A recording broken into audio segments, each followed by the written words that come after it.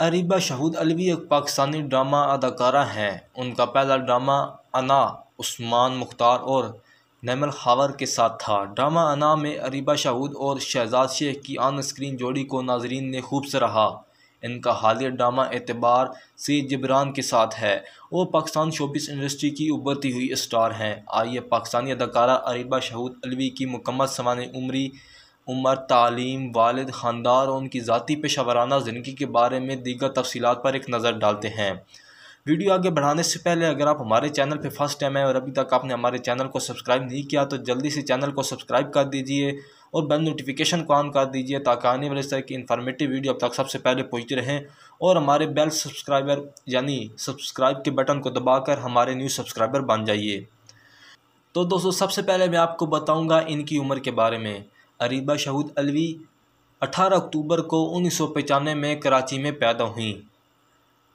वालिद, अरीबा शहूद अलवी मशहूर ड्रामा अदाकार शहूद अलवी की बेटी हैं। उनकी दो बहनें साजल शहूद और अरीबा शहूद हैं। इनके वालिद का नाम, वालदा का नाम साइमा शहूद अलवी है। शोहर, अरीबा शहूद ने अभी तक शादी नहीं की और ना ही इनका अभी तक कोई रिलेशन है। अरीबा शहूद अलवी की ड्रामों की फहरिस्त दोस्तों अरीबा शहूद अलवी के दो ड्रामे हैं। एक ड्रामा 2019 में अना था और अब दूसरा ड्रामा जो है 2022 यानी इस साल जो उनका रिलीज़ हुआ है, वो है एतबार।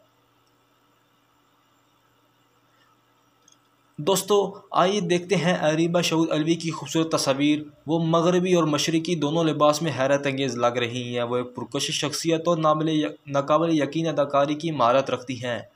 अनाया अरीबा शहूद का पहला ड्रामा था और इन सीरियल में इनकी अदाकारी लाजवाब थी।